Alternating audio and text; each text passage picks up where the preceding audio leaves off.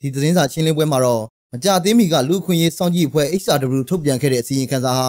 ဆိုရရဲ့မြေပြင်စစ်စစ်တွေ့ရှိချက်တွေနဲ့တိတိတသားကွာဟနေသလိုတမတော်ဟာဂျနီဗာပြတဲ့ချက်အတိုင်းလိုက်နာဆောင်ရွက်ကနေမြေရှင်းလင်းမှုတွေလုပ်နေတဲ့ဆိုတဲ့အကြောင်းတွေရှင်းလင်းတင်ပြခဲ့ပါတယ်။နေမြေရှင်းလင်းတဲ့ဖြစ်စဉ်မှာရဟတ်ရင်ကိုစစ်ကြောင်းမှုကိုကယ်တင်တဲ့နေရာမှာပထမဆုံးစတင်အသုံးပြုခဲ့တာဖြစ်ပြီးလေကြောင်းပစ်ကူတာကိုတော့ပြစ်မဲ့ပြည်သူတွေထိခိုက်ဆုံးရှုံးမှုအ ਨੇ ဆုံးဖြစ်အောင်ဆက်လက်လို့ခေါ်တဲ့စစ်တပ်နက်ကိုသာအသုံးပြုတာဖြစ်တယ်လို့ နိုင်ငံတော်တိုင်ပင်ခံရုံးသတင်းထုတ်ပြန်ရေးကော်မတီရဲ့အတွင်းရေးမှူးဦးစော်လေးကအခုလိုပြောပြပါဗျ။ရဟန်းရည်ရဲ့ဟိုစံပဒါကျွန်တော်တို့ကဟိုနန်းဟိုထိခိုက်ဆုံးရှုံးမှုအနည်းဆုံးဖြစ်အောင်ဒီဆောင်ရွက်နေတာဖြစ်သွားတယ်။အဲဒီကျွန်တော်တို့ရဟန်းရည်နဲ့သွားတယ်ဘယ်မှာလုံးစသွားတာလဲစစ်ကြောင်းမှုအဲ့မှာမေးစီကိုမှန်သွားတာ။မှန်သွားတော့ဒီသွေးဆိုင်ရဲနဲ့ဖြစ်နေတဲ့အချိန်မှာပြည်အောင်လို့ရဟန်းရည်လွတ်တာဖြစ်သွားတယ်။ဒါပေမဲ့ရဟန်းရောက်တဲ့အချိန်ဒီနေ့လေးကွာပြီးတော့အကြမ်းမှုကကြားဆုံးသွားတာဖြစ်သွားတယ်။သို့တော့ရဟန်းနေရာကိုကျွန်တော်ဆက်တဲ့ ဆက်တဲ့ပဲကျွန်တော်ပြောပါတယ်ဆက်လက်ဆက်လက်နော်ဆက်လက်မျိုးစားဆက်လက်ပဲသုံးပါတယ်ကိုလိုမျိုးကျွန်တော်ဘုံကြည့်ဘုံနေသုံးလို့ရပါဘူးသုံးလို့ရတယ်သို့တော့ကျွန်တော်တို့ကဟိုယူစုပေါ့နော်အပြစ်မဲ့ပြည်သူတွေ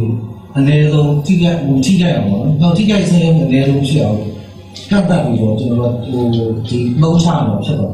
ရဟရင်ဒဇင်းပေါ့နော်ပါတဲ့သူ့ရဲ့ဟို fire power အဟုတ်တော့ရင်ကျွန်တော်တို့အဲ့ဒါ ဟိုပြောဟိုပြောမကောင်းတဲ့ဖြစ်စဉ်တွေတို့တော့ကျွန်တော်တို့ကဆက်လက်လုပ်မှာဖြစ်တယ်လူအခွင့်အရေးစောင့်ကြည့်အဖွဲ့ဟာလူထုကနေရိုက်တဲ့အခါမှာတောအုပ်တွေသစ်ပင်တွေရှိတဲ့အတွက်မြေပြင်ကိုစုံစမ်းစစ်ဆေးတဲ့အဖွဲ့လွှတ်မှသာအချိန်မှန်ကိုတိကျသိနိုင်လိမ့်မယ်လို့အစီရင်ခံစာမှာထည့်သွင်းရေးထားတယ်လို့ဦးစော်လေးကအခုလိုပြောပြပါဗျ။သူတို့ကဖတ်ကြည့်တယ်။သူကဒီဟာလေးဂျိုးတက်ပေါ်နေတော့ခြိုက်ပူထားခြင်းဖြစ်တယ်။ သို့တော့တောအုပ်တွေရှိတယ်သစ်ပင်တွေရှိတယ်ရှိတဲ့အတွက်တကယ်မြေပြင်အခြေအနေကိုတော့ဒီပိုင်းလုပ်ဖို့ဖြစ်တယ်။ဘာလို့လဲမရဘူး။မရတဲ့အတွက်တကယ်ဒီစုံစမ်းစစ်ဆေးအဖွဲ့ပေါ့နော်ဒီလာလွတ်တဲ့အဖွဲ့ဘာမှသာမြေပြင်ချင်းပြီးမယ်ဆိုသူကအဲ့ဒါလေးကြေပေါထားတာ